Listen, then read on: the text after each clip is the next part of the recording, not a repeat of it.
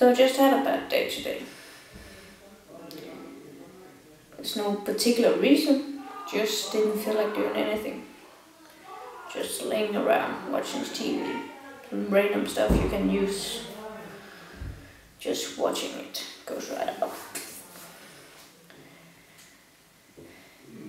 And then I went to work. All chaotic. Nothing in order and yeah, work in the supermarket as a cashier and I hate it. It's boring. You just, have all the customers just complain about anything.